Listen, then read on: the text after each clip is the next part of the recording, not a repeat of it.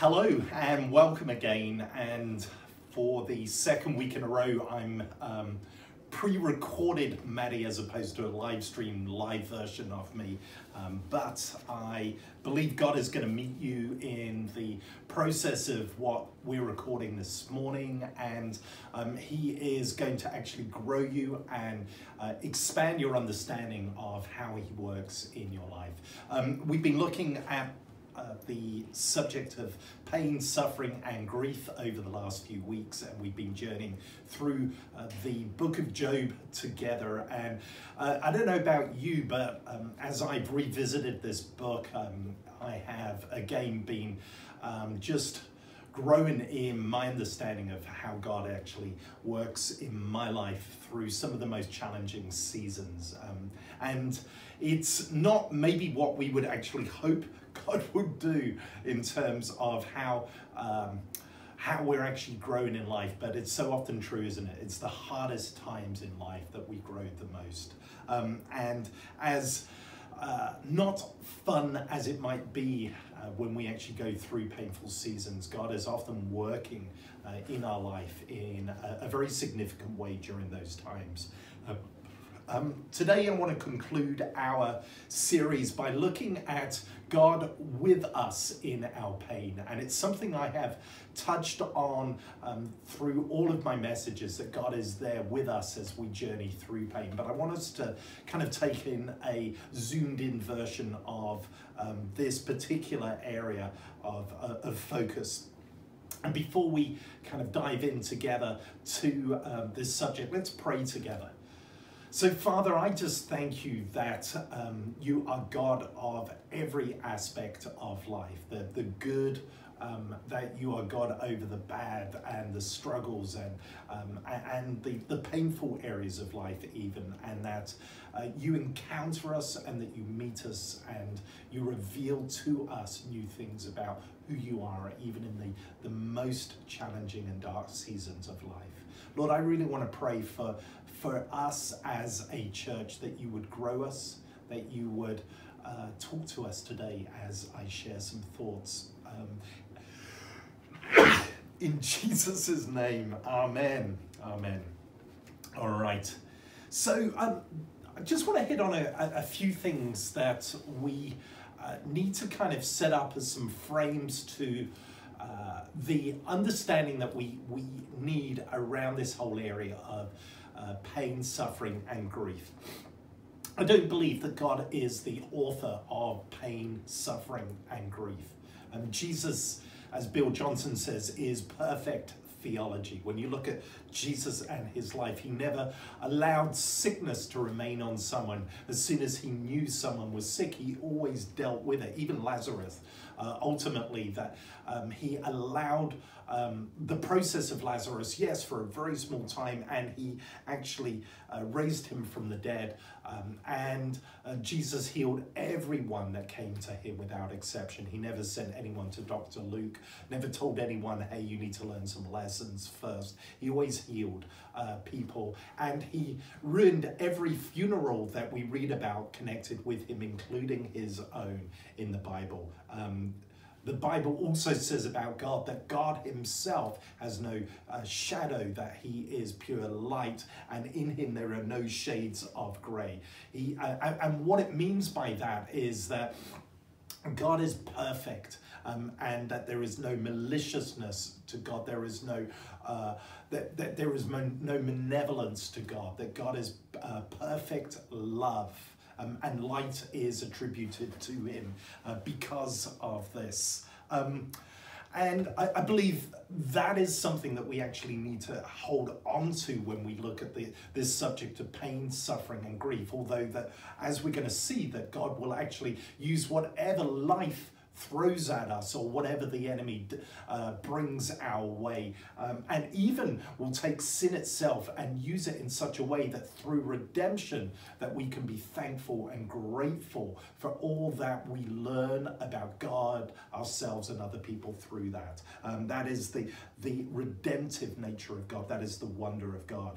Um, and the trouble is that when we let go of that perspective, um, it can actually create what I call a Frankenstein type perspective of God. See, um, the, the story of Job uh, paints a picture that God actually allows suffering to come into Job's life and, um, and that he's okay with that and he sanctions that. And although the text reads this, what we forget is that actually the Bible isn't a, uh, a flat document. There is this linear progression of who God is that, that grows and grows and grows until we see the, the fullness of the revelation of who God is um, that culminates in who Jesus is. And Jesus says, if you've seen me, you've seen the Father.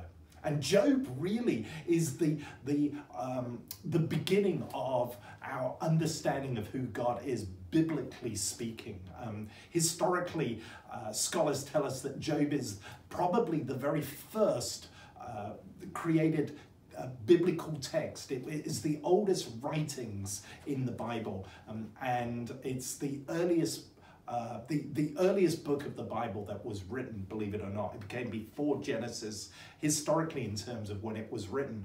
Um, and so, in that sense, it's an early perspective of what God is like and how He works. It's not that, that we, we don't get biblical truth out there, it's not that it's any less sacred and holy than the latter books of the Bible, the, the, the Gospels and the revelation of Jesus. But we need to hold in mind that actually uh, some of the things that, that we see um, shared in the story um, actually get a definition, um, a, a, final definition in the person of Jesus. So, um, what is God's perspective of healing is ultimately answered in Jesus Christ. He healed everyone that came to him. Um, what is God's perspective of suffering? Well, um, we see that ultimately that there is this clash of kingdoms that is revealed in the story of Jesus um, and that God's kingdom is pure light um, and that uh, whilst God definitely can use the enemy to, to progress um, his kingdom and his purposes in the world, uh, the enemy is broken and is evil and destined for destruction. Um, but that said, and I want to show uh, to to actually bring in this caveat to everything I've just said above there, um, is that actually uh, some of our perspectives in our stream of of the goodness of God are a bit jaundiced in their perspective. They're not complete in who God is. And um, the story of Job can provide us with some color and definition um, that will actually expand our perception of, of just the, the wonder of God, the mystery of God, um, and the unknowableness of God, which we in our stream can actually be lacking, although we embrace this beautiful picture of, well, God is like Jesus. Um, and so we need to lay hold of that, uh, especially for, for those of you that have actually grown up in our stream, that, that in our stream, because we so hold on to the goodness of God and the wonder of God, what happens is that when suffering or mystery shows up in our life, it can really uh, topple our understanding of what God is like and shipwreck our faith because what we come to believe of God does not stack up with our theology. And we'll touch on that in a minute. Um, and uh, and so another thing we can take out of the story of Job is that God will take everything life throws at us and use it for his purpose. So although God is not the, the causer of the pain and the suffering and the grief in and around our lives, the God will actually take those things and use this to actually uh, grow us in our lives, to, to actually reveal something new of who he is in our life and to even bless us through it. Uh, Romans 8 uh, talks about how God turns all things to good for those who love him and are called according to his purpose. And sometimes the all things that God takes are bad things that have happened to us. Um, accidents or, or tragedies that come our way or, or mysteries. And God takes that and, and that He uses that and He redeems that in such a way that actually, um, in a, a strange kind of way, that we can actually be thankful for the trials that come our way. And we see this in the life of Job, that the, the Job at the end of the story would no, by no means turn around and actually say to God, Well, I want to do that again. That was so fun. Um, that was awesome. Let's do that again, God. No, uh, but he would be saying, God, wow, what I know about you now, what I know about the way that you work now is, uh, is so much grander and so much bigger and so, so much more than what I started with. And I'm so thankful for that season in my life. I'm thankful that though that, that was hard and painful and that hurt, I, I'm thankful for now what you have done with what you allowed me to go through. And so God will take the things that you're going through in life, the, the challenges, the pain, the suffering, the mystery in your life, um, and God will, will take whatever life throws at you and He will redeem it. Um, and so if it isn't good yet, if you're going through something hard and it's not good yet, it means that God is not over and done with Uh, redeeming what He is working um, to bring about good through those circumstances. And in fact, I, I just want to pause at this moment and I want to pray for you if you are going through something, if you're in the midst of a furnace season right now and you've not seen the good in this. It means it's not over. And I just want to pray for strength and endurance and that God will actually do that which he promises in Romans 8 28 in the midst of your circumstances. So let's just pause at this juncture and pray this on um, yourself or people around you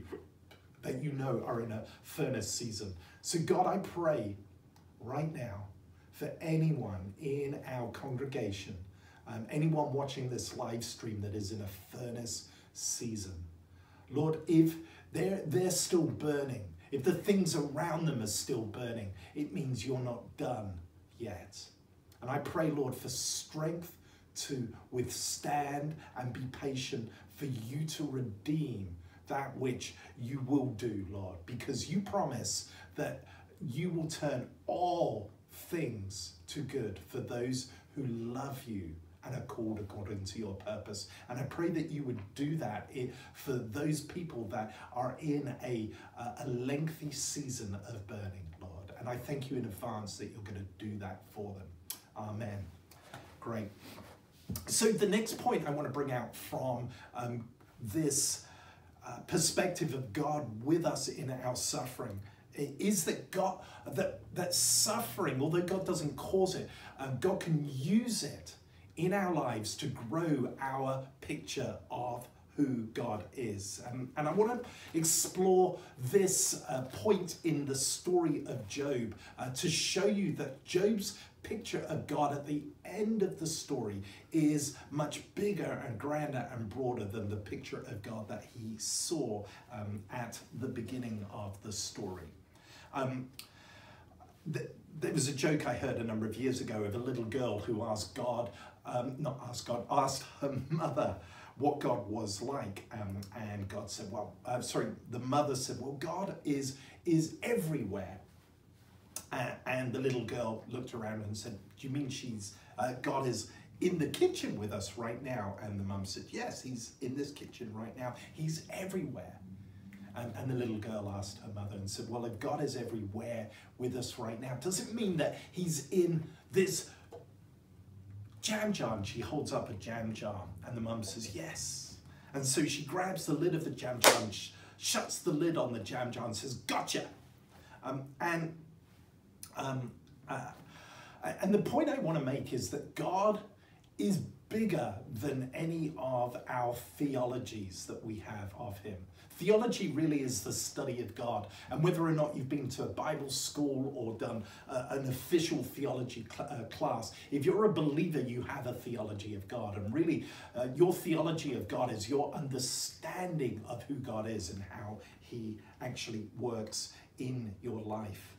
Um, and what we see in the story of Job is that Job has a theology of God which is very much tracking with the theology that his friends also have. And if you remember from previous weeks, I shared that actually Job's friends struggle with what they see happen in Job's life is that they have this uh, black and white theology that God is a retributive God, that, that actually if um, if you do good, you will be blessed. If you do bad, you will be uh, punished for the bad that you do. And in the proportion of the good, um, that you will receive the measure according to what you sow. And really, we see this theology expanded on in the New Testament. And it's true that God is a sowing and reaping God. The Bible talks about that.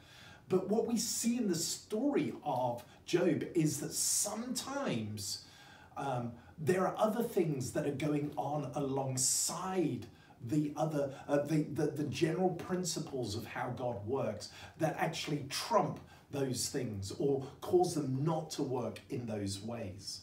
And the trouble with our theology is that they can become prisons in which God is locked in. And the more watertight our theologies of God tend to be, the more that they actually become not a prison for God, but for a prison for ourselves. And what we see out of the story of Job is that actually God, um, as he reveals more of himself to Job and to Job's friends, is that the prisons that they become contained in around their watertight understanding of the way life works and how God works, it, it gets blown apart in such a way that actually they have an expanded view of God. Um, one of my uh, one of my professors at uh, theological school um, said this really widely. He says that we need to be spacious with our theology. That whilst we embrace um, our understandings of God that grow and refine over time as we grow deeper in our understanding of who God is in and through our walk with God and our relationship with Him, that we hold um, we hold on to what we believe, but we hold on to it loosely. Um, and so we see in the story of Job that God uses what happens to him to break Job out of his theological prisons.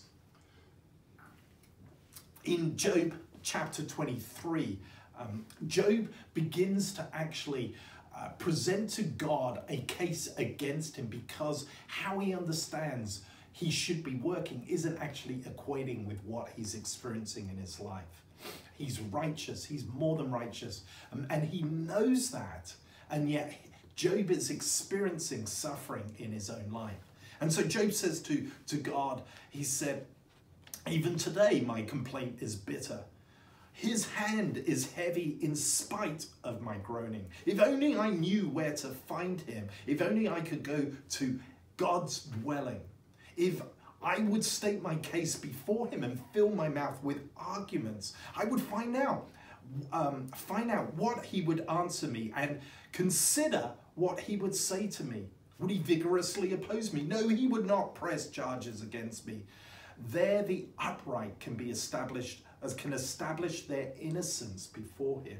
And there I would be delivered forever from my judge. And really, what Job is saying here is if I have my day in court with God, I will present my case to him and I will be proven that actually what is happening to me is unfair.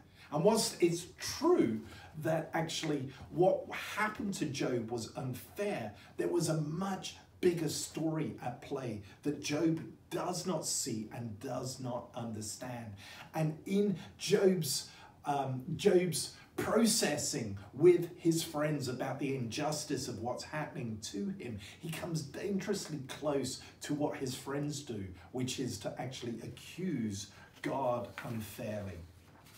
Um, and, and in effect, Job's uh, protest about what's happening to him um, are, uh, form three particular questions uh, which we often ask to God when our theologies stop working, where we hit a, a roadblock in life, where life doesn't go as we think it's going, going to. And Job asks these three questions about God. I thought you were. I thought you were a God of retribution. Um, and then the second question is I thought that you would. Um, I thought that you were a God of retribution, and because you are a God of retribution, I thought you would show up and bless me because I have lived righteously. And then, thirdly, Job says this I thought that you could. See, I thought that you were a God of retribution who would show up and bless me because I've lived righteously. And I thought that you could do this because you are the God of everything. And really, what Job is saying is, but you're not. God, you're not who I thought you were.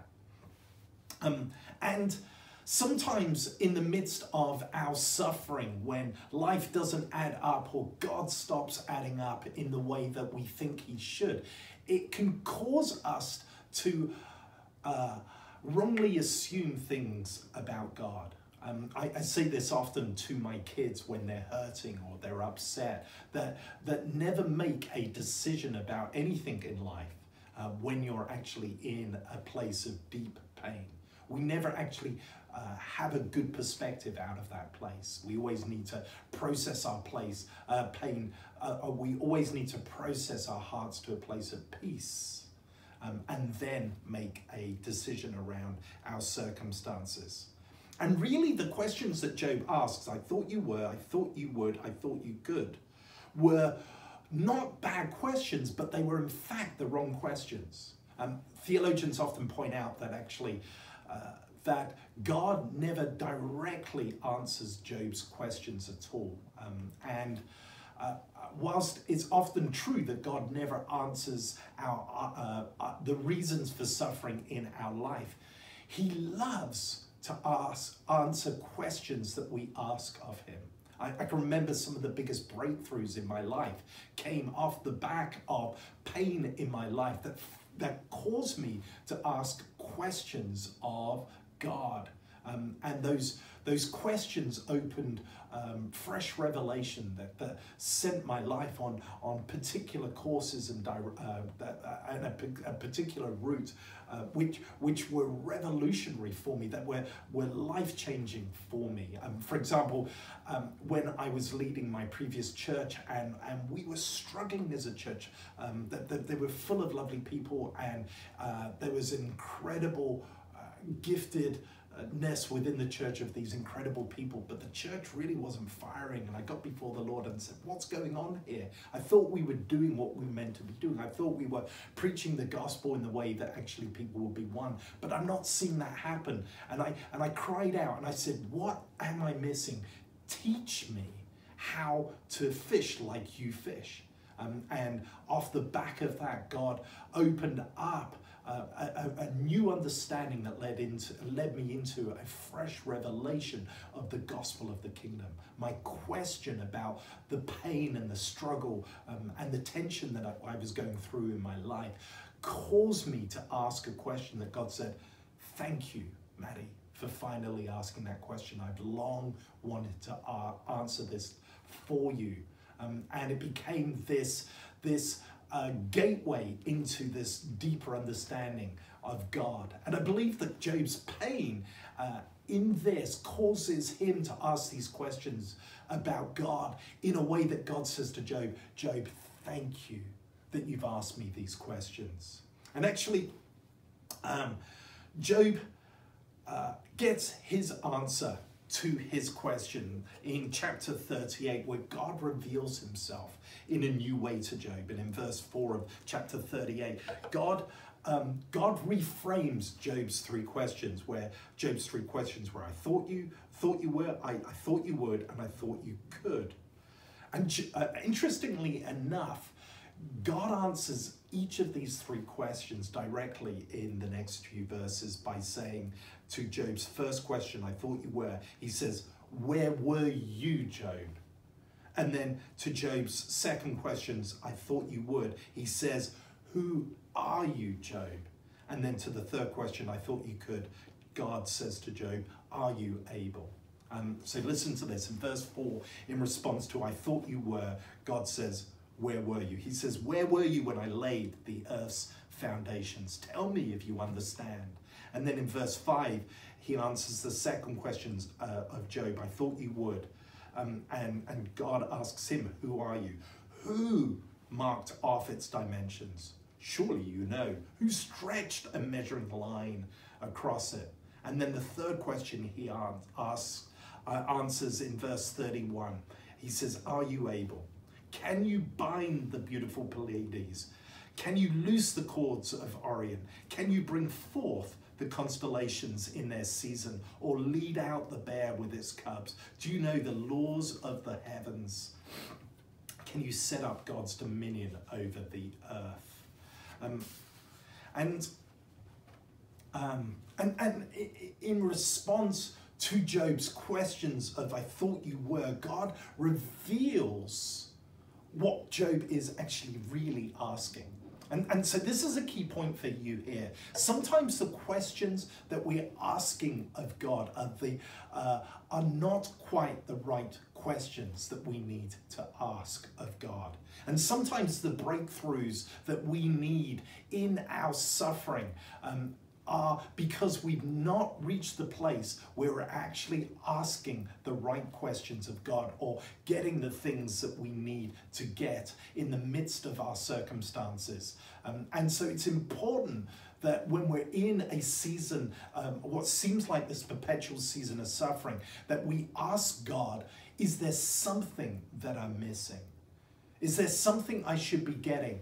Is there something I should uh, be doing in the midst of my challenge? I can re uh, remember back to a season of uh, testing in my life, a trial a season in my life. And my spiritual dad, who was looking in um, with, with great compassion and sympathy to me as I walked through this challenging season, he, he, he gave me a really helpful tool. He said, make sure you, that you get what you're meant to be getting in the midst of this season.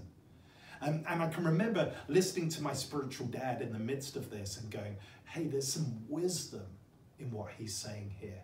I really need to make sure that what it is in the midst of this trial that uh, is fully embedded in me, that I fully have apprehended. Um, and I, I, I remember asking God in the midst of that, off the back of that question, I said, God, help me to get what it is that I need out of this season. Help me not to miss it. Help me to lean into the midst of this trial. Um, and what was amazing was that I got some understanding of what it was that God was building into me. And that understanding in the midst of the trial allowed me to lean in to the, the fire in such a way that actually um, it shortened the season of trial. Not shortened the season of trial, it ended the season of trial in my life. And I say it didn't shorten it because I don't believe that we can shorten the seasons of trial in our life, but we can extend them. Um, and we extend them when we miss what it is that God wants us to get. See, God will send us around the mountains as many times as it takes for you to get what it is that it, uh, He is intending for you to get. Um, and sometimes, if you are circulating, circ- circulating a season um, that you uh, that seems perpetual and you can't get out of, it could be that you've not apprehended what it is that God wants to do in your life, or grow, or, or to die in your life. All right. So Job um, Job, out of this revelation of um, who are you, where God says um, to him, who are you? He, he sees the God, actually, in comparison to him, is so much bigger and unknowable than he uh, realized. And in response to his question, Where were you? Where God's question, Where were you? He realizes, I'm just a man, I'm a nobody. You're so much bigger and grander and powerful than me. And then to the third question that God asks Job, Are you able? He sees that actually, God, you are more than able, but I'm not. I'm just a human being. And in chapter 40, verse 3, uh, out of this realization, Job says to God, I am unworthy. He comes into this place of uh, stillness and quietness. He stops wrestling with God and he submits to this new understanding of who God is. And you can tell you're actually coming to an end of your, your uh, trial or your season um, of wrestle when you actually come to the end of yourself and you come to a place of stillness and you come to a place of um, acceptance. Um, and it's very often the sign that you're actually uh, coming to the end of the wilderness season in your life. Um, and so, Job in verse 4 of chapter 40 says, I'm unworthy. How can I reply to you? I can put a hand over my mouth. Uh, sorry, I put a hand over my mouth. I spoke once, but I have no answer. Twice, but I'll say no more. Um, and then in chapter 42, he reiterates this, this resolution of this new revelation of the bigness and the grandeur of God he has arrived at. I know, God, that you can do all things. In other words, to who are you, where God says, Who are you compared to me? Uh, he says, God, you are God. You're, you're everything. You're bigger and grander and more mighty than me. And I'm, I'm okay with that. I'm, I'm, um, I've come to a place of resolution that you're bigger and more unknowable than I could ever see. Verse 3, he goes on to say, You asked, Who is this that obscures my plan without knowledge? Surely, Job says, I spoke of things I did not understand. And really, it's a confession to God that Job actually uh, had, unbeknownst to him, put God in this box of this is what you are. And his revelation out of his season of suffering is that God actually has no boxes. God is bigger than any theology that we could ever have. And whilst theology is helpful to us, it becomes a hindrance, as I've said before, when we actually put God in a prison. And so Job uh, comes into this place where he holds his theology lightly. Um, and in verse 4, he says, You said, Listen now, and I will speak. I will question you, and you will answer me. Verse 5 My ears have heard of you, but now my eyes have seen of you. Therefore, I despise myself and repent in dust and ashes. And he's not beating himself up, he's just come into this place of resolution and acceptance that actually, although it feels sucky uh, what he's going, uh, what's going on in his life, that actually God is who he says he is and even more than he realized he is in. And that's what God wants for you and me in our lives. That He wants us to come into place, a place of resolution around areas of revelation that He's trying to work into our lives. He wants us to, to break through into a place of uh, just surrender and abandonment. That we come into a, a um, uh, the place where Job arrived, uh, where he said, Though you slay me, I will trust you. God, I don't understand what's going on, but I know that you're good. And that although I, I, it feels hard and it feels like a mystery, you are good, and I trust you that your goodness and your purposes will be worked out, that I will see the goodness of God in the land of the living. Um, and, and we see this place of uh, breakthrough that Job uh, arrives at in chapter 42 at the very end of the book that the, the Job that we see here is a different Job than the one that started at the beginning of the book. Um, and in verse 12, we read that the Lord blessed the latter part of Job's life more than the former part. Um, and, and there's an important revelation here is that God actually is a God of blessing. He is a God of prosperity. Uh, people that have a hang up with the prosperity gospel don't understand actually the, the nature of God. See, when we pray on earth as it is in heaven, we're praying for the nature of heaven to touch our earth in such a way that what it's like up there will touch earth down here. And what is heaven like? It's a place of blessing, abundance, and prosperity. Now, the thing is that God wants to give us all of that, but so long as it doesn't kill us. And what we see is that Job's carrying capacity for blessing in his life is grown because of his, his deeper understanding of God and his purposes and his ways.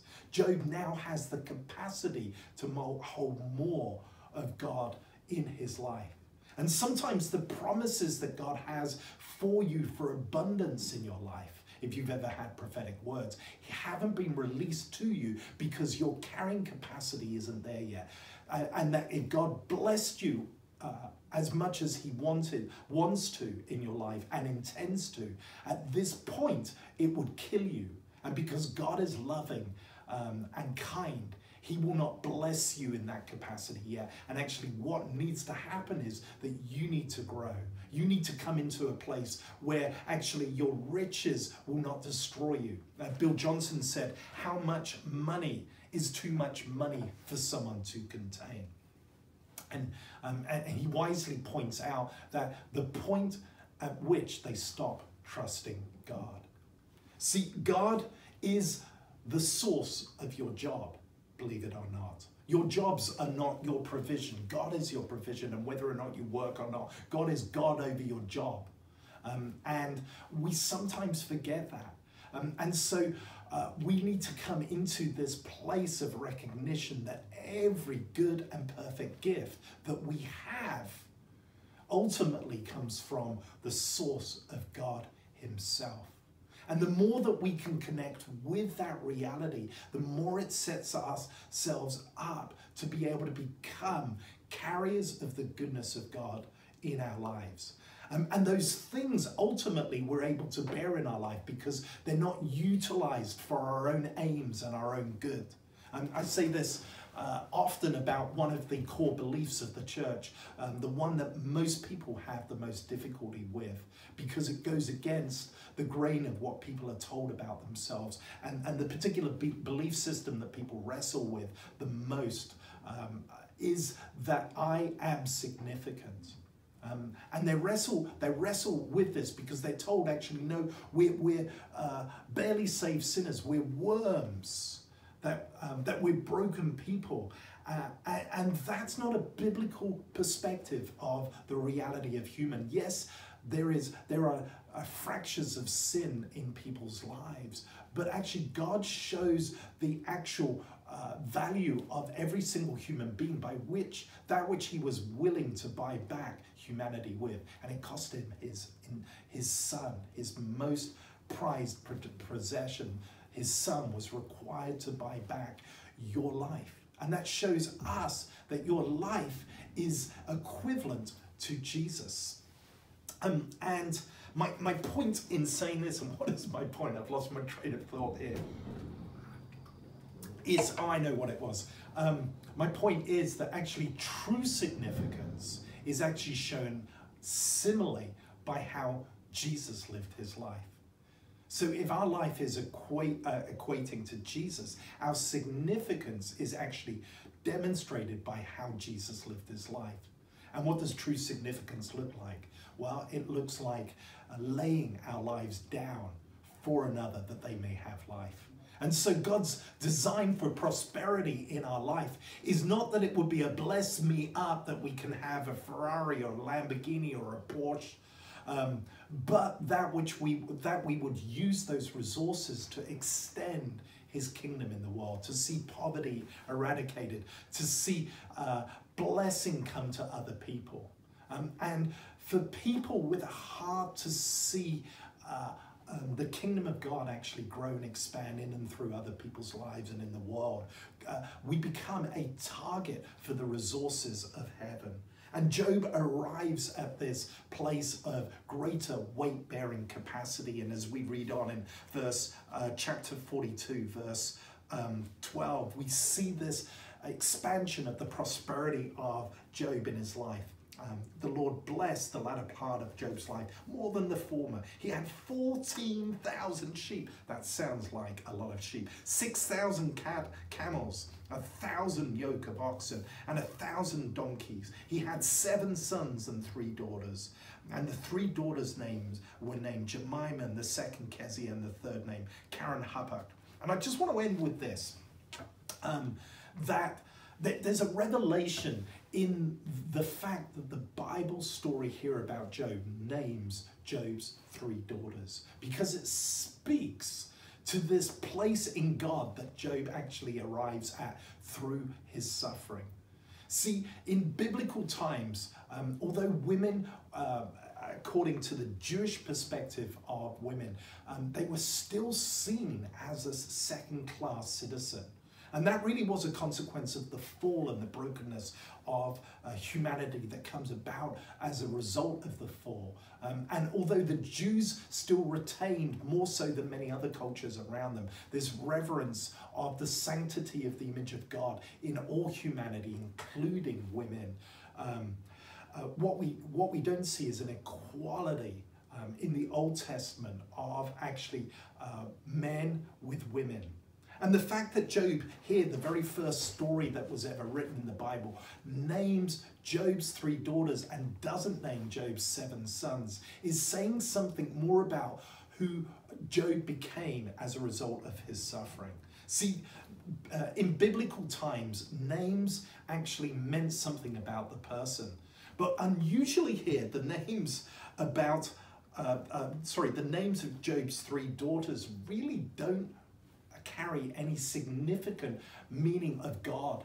Um, they're actually more a reflection of Job's carefreeness and joy and delight in life. The first name, Jemima, means dove. The second name, Kezia, means a sweet smelling cinnamon powder, like perfume. Um, Karen Happuch is a container of mascara to actually make your eyes beautiful. See, they have nothing directly to do with God, uh, such as Matthew, which is my, my name, Matty, is, is finished for Matthew, um, and my name means blessed of God. Um, and uh, But all of these names here, Jemima, Kezia, Karen, Happuch, are uh, carefree and frivolous names.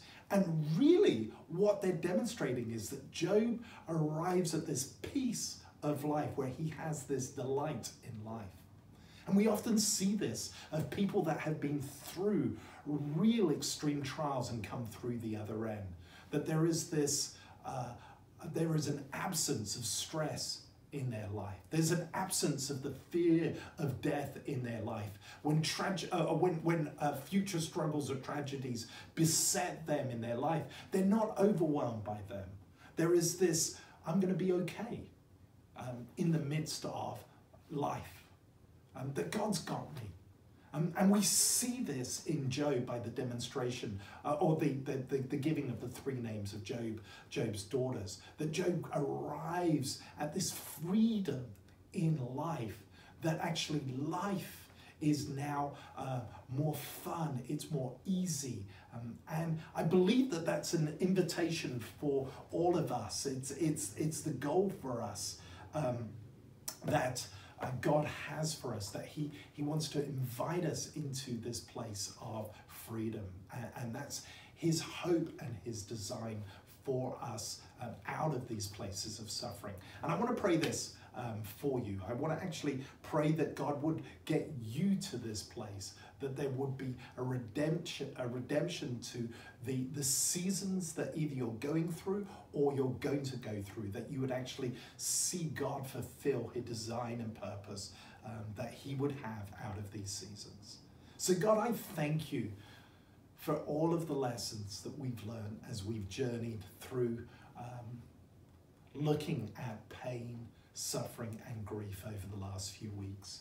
Lord, I just pray that you would uh, fulfill your intention for us as a church in, in that we would actually get everything we need to out of um, this, this whole topic area, that, that you would grow the watermark of our church in such a way that actually we would become a, a center, not just for breakthrough of healing, deliverance, um, and, the kingdom, but we will become a center of compassion um, and a safe place for people to be able to, to grieve. Um, that we would become better counselors of people that are, are hurting, better friends of those who are aching um, better able ourselves to, to withstand difficult seasons. Lord, I pray for every single person in the midst of a grief season, a suffering season, um, or, or dealing with pain in their life. I pray that there would be um, the revelation of you in the midst of what it is that they're going through that you would grow in them, that you would complete in them that which you uh, are able to give them in and through this difficult season. Lord, I bless our church to come into the fullness of who we are called to be, um, which is uh, the reflection of Jesus himself. And you said of Jesus, he was a man acquainted with grief and suffering. Um, and Lord, I pray that, Lord, we wouldn't be afraid anymore of grief, suffering, and pain. And I pray this for the glory of your church um, and for, for your purposes to be fulfilled in each and every one of our lives for the glory of Jesus. Amen. Great. Hey, thank you again for uh, joining me this morning. God bless you. I'm looking forward to seeing you back in, per, uh, uh, in person, um, in the flesh. Um, feel free to, to post comments um, in the, the chat around things that God has done or spoken to you through the season. Um, and have an awesome week. God bless you.